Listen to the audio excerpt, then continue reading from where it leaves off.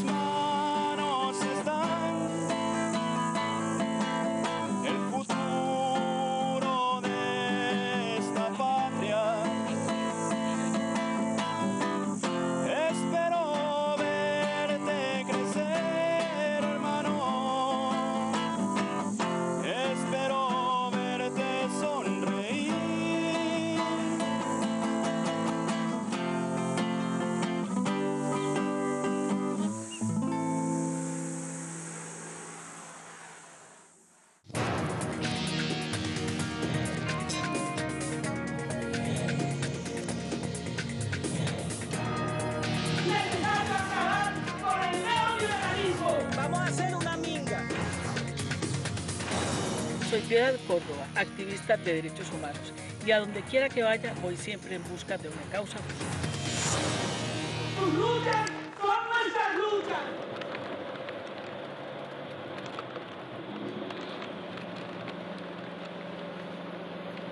El 15 de junio de 2012, 324 efectivos policiales encabezados por un grupo militarizado de asalto denominado Grupo de Operaciones Especiales ingresó a Marina Cue, territorio ocupado entonces por un grupo de 60 personas, en su mayoría campesinos y campesinas.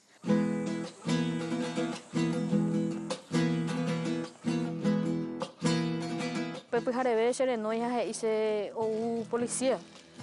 Pero que otra representante del, del gobierno. Las 8 de la mañana ya nos enduma la tiro, tiro. Entonces ya no dice hermano, cuera, no entendéis. O sonala el teléfono, otro ya apagado. Au Pepe o era hay que y o ya ramo y Felipe Balmori pero acá hay yo he usa pe vi yo ya rapeña con yo pu pe vi piar en donde la yuko ape y coge yo. Había mujeres, niños y de todo. Y yo vi en mi espalda que la gente ya estaba corriendo ya. Ahí. Y yo no sé ni cómo salí de ahí también. Me- yo, yo corrí hacia el bosque. Y cuando yo entré en el monte ya empecé a oír que había tiro. Se tuvo hacer no porque se tuvo veio ahí. Ah, se no ya hice Fermino ye rima he tu mame ha. Eh, pues camina la forma ya raja hospital ve. Pete imitan usuro ya pipe ocupe gube y haupe a la tiro y mamá hey lo ye ya pia. Ese y los días posteriores las pantallas de televisión mostraban cómo supuestamente desarmados e indefensos policías eran emboscados por malvados campesinos, preparándose el territorio psicológico y de la opinión pública para la rápida destitución del presidente Fernando Lugo. Contrariamente a las profusas imágenes que recorrieron esos días las pantallas de la televisión paraguaya, aquel 15 de junio de 2012 los policías ingresaron con fusiles y ametralladoras sin ninguna intención de diálogo y mediación para sacar a como de lugar a los ocupantes de esas tierras públicas que un terrateniente había tomado. Los policías ingresaron con orden de desalojo, aunque la orden judicial emitida por el juez José Benítez apenas habilitaba un allanamiento. Según la mitad, oye, y a él y tú, oye, oye, agarras a hueso la policía, no pasa caso, ve, oye, o yucaso. Haupe ka tu o hen a tu otro pe arroyo arriba otro lado a tu otro la ibna hea. Ay, na hija se. A policía y mai ko apuata pe hona pe reisa mi he. A otro policía y pena no se acuerda a campesinos. hey. Seis policías y 11 ocupantes de Marina Cue murieron. Siete de los campesinos muertos presentaban signos de ejecución, con balas en el pecho, en la boca y en la cabeza. Antes de que la población pudiera sacudirse del impacto mediático que se regodeaba en la ferocidad campesina y la supuesta mano blanda del gobierno de Lugo con los delincuentes invasores, siete días después de la masacre, el 22 de junio, era destituido el presidente. Las campesinas y campesinos sobrevivientes fueron criminalizados. Muchos de ellos están presos y claro, sin tierra, mientras que ningún policía ha sido procesado.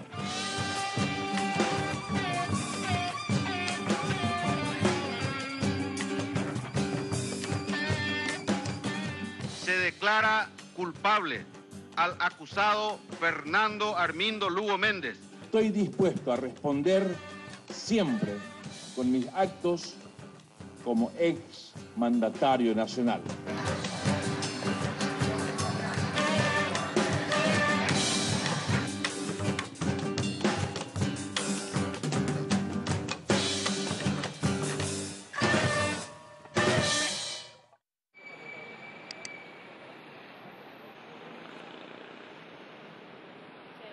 ¿Qué más, Julio? Qué gusto conocerte. Un placer, compañera. Uno se pregunta a qué Paraguay estoy llegando yo hoy aquí. Nosotros tenemos un control muy fuerte hoy del territorio por parte de empresas transnacionales. Yo te diría que la agricultura, la tierra en general está en manos de cuatro o cinco grandes compañías norteamericanas, la Monsanto, Cargill, ADN. Y por eso también es muy importante entender que aquel golpe de Estado ha sido ya un, con un componente corporativo transnacional profundo, ¿verdad? No en vano después del golpe habilitan el algodón transgénico, luego habilitan el maíz transgénico. ¿Cómo ha transformado el mapa político paraguayo?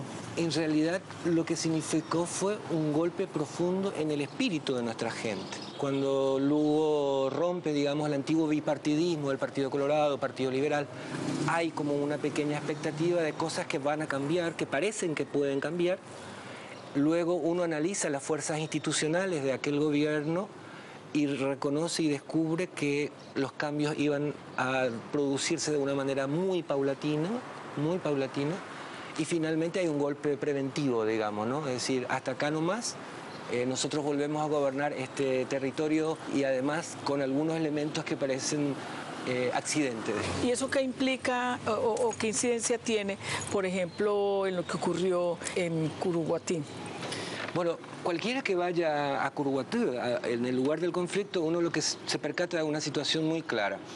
Todo el territorio está dominado por los, por los transgénicos, por las empresas transnacionales, ustedes van a ir, si van a Curuguatí van a encontrarse con Cargill, van a encontrarse con ADN, es un territorio entre comillas conquistados por ellos. Y usan generalmente productores brasileños como mano de obra y pequeño capital. Roboreco, ocho familias Roboreco en diez. Pequeñico y la, como de gracia va a ir. Con este allí andero ni abandona página por cuestión de problemas allí tuvimos coño y cárcel. Lo demás ojo ahí o acá algún trabajito allí un va que no hay. Pase dice que para las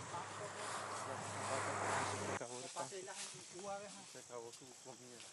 Antes de la masacre, Arecoqui 29 cabezas de Arecoqui. Y más vende porque la imponan huella vende para más. Sí.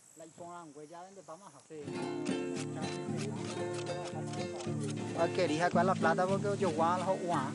Areco mandi o más de yo me da vender unía. Ya vende para más y la mandi porque Areco y más la vendía. Solamente se consumó antes Areco. Un día yo pregunté Abuelo, ¿dónde está Dios? Un día yo pregunté, abuelo, ¿dónde está Dios? Mi abuelo se puso triste y nada me respondió. Mi abuelo murió en los campos sin rezo ni confesión y lo enterraron los indios, flauta de caña y tambor, y lo enterraron los indios flauta de caña y tambor.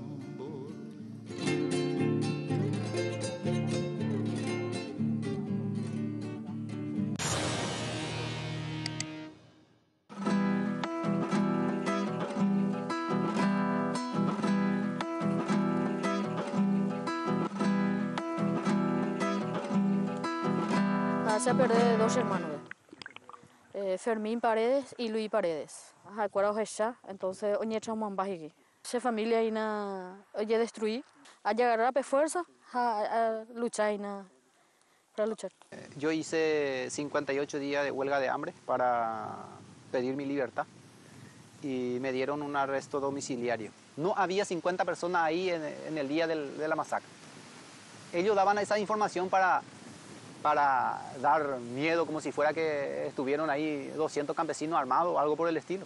Había niños, mujeres, eh, ancianos, de todo había ahí. ¿Y cómo, cómo uno se puede eh, interpretar ni imaginar que se iban a enfrentar a la policía con chicos en brazos? Hasta inclusive están imputando a gente que no estuvieron ahí ese día. Acá hay vecinos míos acá que están imputados de siete procesos. Asociación criminal, homicidio doloso, tentativa de homicidio, invasión de inmueble. Pero ellos no estuvieron ahí en el día de la masacre.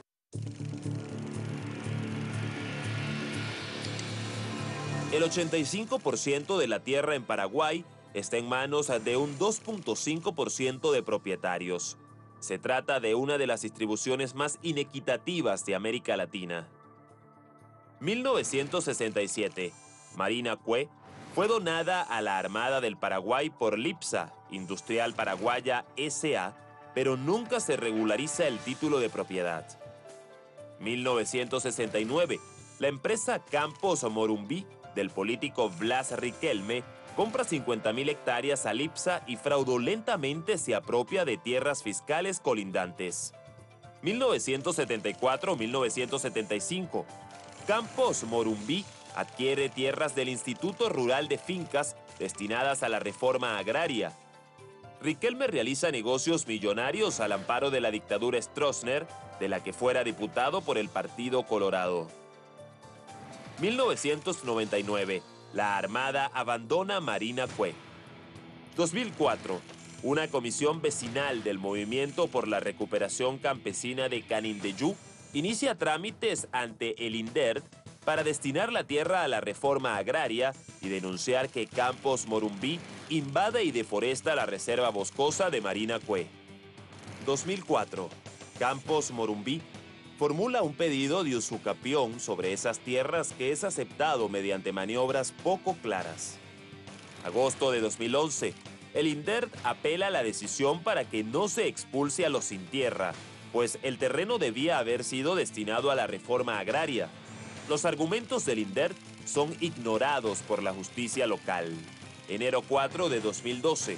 La Cámara de Diputados insta al ministro del Interior del gobierno de Fernando Lugo, Carlos Filisola, a cumplir con la demanda de la fiscal Ninfa Aguilar, que pedía la desocupación del terreno de 2.000 hectáreas que, según ella, pertenecía a la empresa Campos Morumbí. Enero 31 de 2012. El movimiento Sin Tierra denuncia el hostigamiento de la empresa Campos Morumbí, que sin título de propiedad reclama la tierra. Junio 15 de 2012. Durante el desalojo violento de las tierras de Marina Cue, son asesinados 11 campesinos y 6 policías. Cinco campesinos son acusados de la matanza en hechos aún no esclarecidos por la justicia.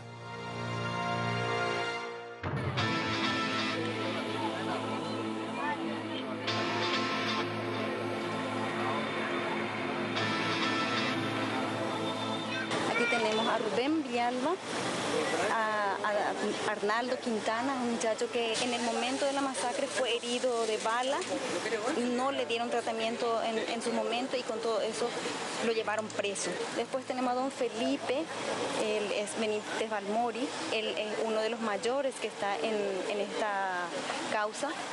Después tenemos a Néstor Castro. Néstor Castro, en el momento de la masacre, tuvo una herida de bala que le destrozó la mandíbula y desde entonces él no tiene una buena alimentación y ya en el momento en que inicia la huelga, él estaba con desnutrición. Y el otro es el compañero Adalberto Castro, que es hermano de Néstor. Y Adalberto y Néstor tuvieron un hermano que murió en el momento de la masacre.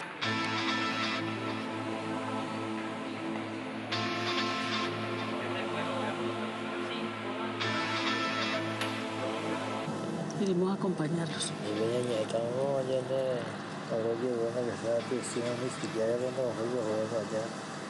Estoy allá 58 días más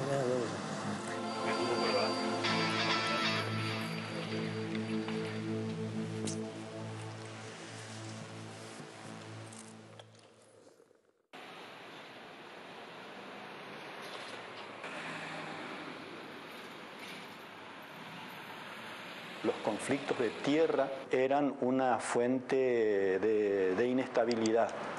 Y como el gobierno del presidente Lugo, este, si bien no ha hecho grandes transformaciones en materia de reforma agraria, sí tenía algunas, algunas políticas eh, que estaba mm, ejecutando como la recuperación de las tierras fiscales que había adjudicado gobiernos anteriores en forma ilegal a terratenientes, cosa que permanentemente era cuestionado por los grupos empresariales de, la, de sojeros, de hacendados y de los políticos, de los partidos políticos de oposición. En este informe final está la investigación y los resultados de la, sobre las tierras malavidas, es decir, las tierras de reforma agraria que iban a ser destinados a campesinos e indígenas, pero que fueron beneficiando a generales, coroneles, jefes de policía, banqueros, comerciantes, empresarios.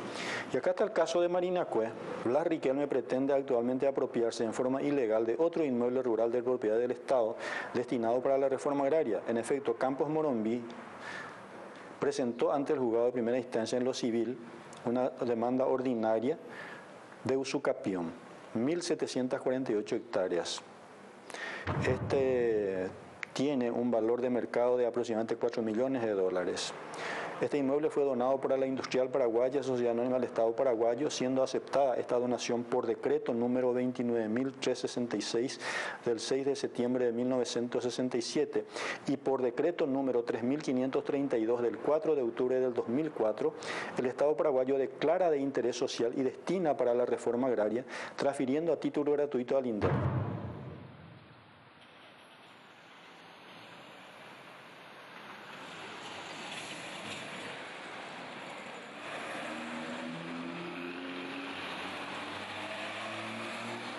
Y vine acá en Asunción, el INDER, para hacerlo. O sea, lo que queremos es que se.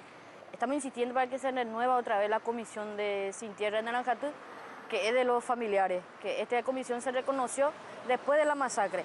Entonces venció esta comisión ahora, en julio pasado, desde el martes que estoy, hace una semana ya. Y veo que hoy no va a estar otra vez porque se tiran la pelota. El doctor Alvarenga me dijo, yo voy a sacar el dictamen. Y ahora me fui otra vez y me dice, bueno, hablar con el director, que eh, apurarle a ellos. Entonces me fui a hablar otra vez con este director y me dice, ahora estoy cambiando cablería, esperamos uh, media hora, una hora, pues ya va a estar, ¿verdad?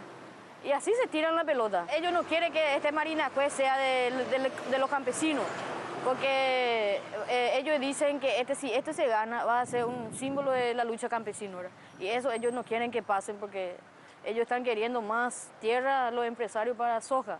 Sí, claro, mucha plata en, por el, el medio, mucha plata. A nosotros no, no, no nos están ofreciendo, ¿verdad? Pero eso nosotros no podemos aceptar porque acá murieron 17 compatriotas sin tierra y no vamos a permitir esto. No hay plata que nos compre con, este, con esta masacre. Mara, hoy imputas y hoy imputas y la uña. Mara, vea. Ma, después lo recogemos aquí testigo. Ando a ley testigo, ¿no? Nega tu yo más. Sí. Baru la policía que acá tú o 308 testigos recogí. Yo hoy nega la acá que yo hola. Hoy ya en la campesino arila causa totalmente. Nosotros ya sabíamos a profundidad que la idea que estaban construyendo del campesino enemigo era una idea genocida, digamos, ¿no? Era la idea de legitimar el genocidio en el campo, es decir, desterrar a los campesinos y ocupar todo el territorio. Marzo de 2014, la Asociación Rural informa que Paraguay produce alimentos para 80 millones de habitantes. Es decir, genera comida suficiente para alimentar a 13 países con igual población. El crecimiento del agronegocio ha hecho posible este fenómeno a costa de la concentración de las mejores tierras cultivables en pocas manos. la pérdida de la soberanía alimentaria y el empobrecimiento del campesinado que ya no encuentra trabajo en los campos altamente tecnificados. Diciembre 2013. El secretario técnico de planificación declara que 1.200.000 personas padecen hambre en Paraguay, el 70% de ellas en el área rural, invadida por cultivos transgénicos. Materia prima del agronegocio. 2007. Un informe del Banco Mundial revela que mientras el agronegocio produce rentas por unos 6 mil millones de dólares, el impuesto inmobiliario que pagan los latifundistas representa solo el 0.04% de la presión tributaria. Abril de 2008. Fernando Lugo es elegido presidente por la Alianza Patriótica para el Cambio, APC, tras 62 años del Partido Colorado en el poder. 2008-2012. Pese al control del Congreso por parte de la derecha, vinculada con los intereses transnacionales y latifundistas, Lugo introduce importantes logros en el ámbito social. Octubre de 2011. El Ministerio de Agricultura y Ganadería libera ilegalmente la semilla de algodón transgénico de la transnacional Monsanto. El Servicio Nacional de Calidad y Sanidad Vegetal y de Semillas, SENAVE, se niega a inscribir la semilla por carecer de la aprobación del Ministerio de Salud. Mediante la Unión de Gremios de Producción, Monsanto emprende una campaña contra SENAVE y el Ministerio de Salud a través del diario ABC Color del poderoso grupo Sucolillo, vinculado al sector agroquímico. Junio 15 de 2012. Campesinos reclamantes de tierras son desalojados. Tiene lugar la matanza de Curuguatí. Numerosos campesinos son criminalizados. Junio 22 de 2012. Fernando Lugo es objeto de un polémico golpe parlamentario. Desde el exilio, el expresidente Lugo denuncia violación de los derechos humanos a los implicados en los hechos de Curuguatí y pide la renuncia del fiscal Jalil Rachid, amigo de la familia Riquelme, quien desestimó las pruebas de campesinos vendados y ejecutados luego del desalojo. La matanza de Curuguatí es otra muestra de la cruzada mundial contra la agricultura campesina, emprendida por las transnacionales que, con el apoyo de poderosos cómplices locales, criminalizan cualquier reclamo de tierras que no estén al servicio de su agronegocio.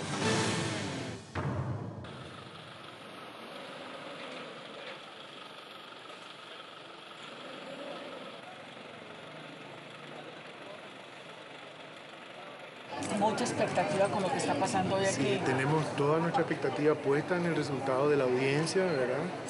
Este, hemos solicitado el arresto domiciliario, o sea, una sustitución de la, de la prisión para estos cinco huelguistas y por lo tanto, este, bueno, estamos pendientes de una decisión del tribunal. Detrás de todo esto hay un, un caso de reforma agraria, un tema muy fuerte de reforma agraria, de disposición de la tierra, Por supuesto. de lucha de los campesinos y las campesinas. Todo lo que está sucediendo en nuestra causa es por este, responsabilidades incumplidas del, por parte del Estado. Eh, la huelga de hambre no se llegó por un capricho de nuestros defendidos, se llega porque el Poder Judicial no pudo garantizar un proceso con las, garan- con- con- con- con las garantías constitucionales mínimas.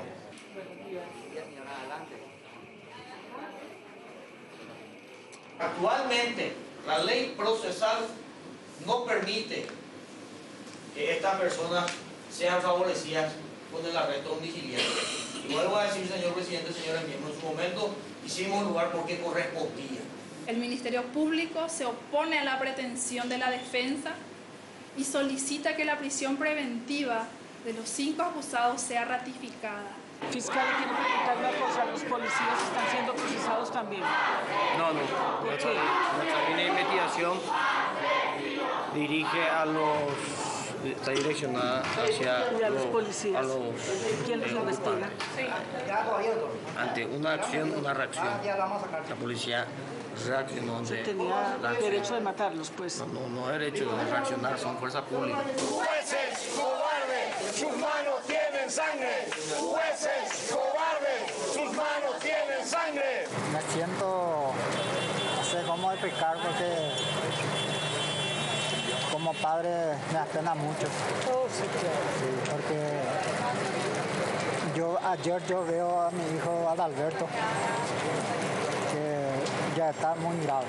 Y este es sobre todo un, por parte de ese, de ese sector tan poderoso un mensaje muy claro, ¿verdad? De, de que se busca un castigo ejemplar para algunos campesinos que tienen la energía, el coraje y la valentía de resistir a este tipo de violaciones y agresiones a sus derechos.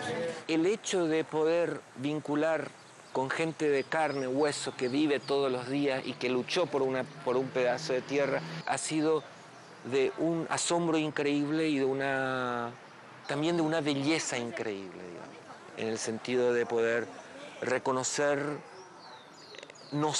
profundamente campesinos. Soy el hombre de la tierra que acaricia un sueño en flor.